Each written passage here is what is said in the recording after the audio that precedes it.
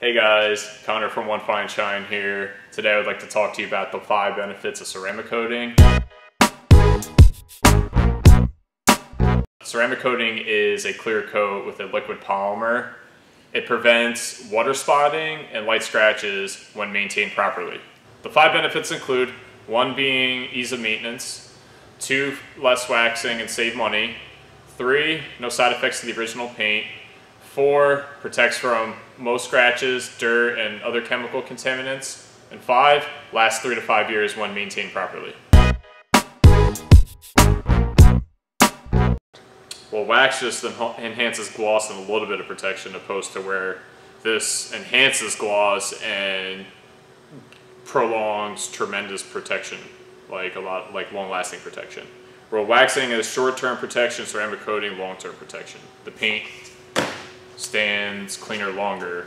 Um, like ease of maintenance meaning because it's it's easier to wash, it's more protected. Like well, it's a semi-permanent coating that lasts three to five years. You only have to wash your vehicle and don't have to wax it in between your maintenance washes. There's a substance in the coating that um, protects from you know water and any other type of weather element. You know whether it's a sun or cold or you know anything. No like no defects. You got to remove the water spots if there is any and. Uh, and surface swirls, like you know, like what are surface swirls? Light scratches.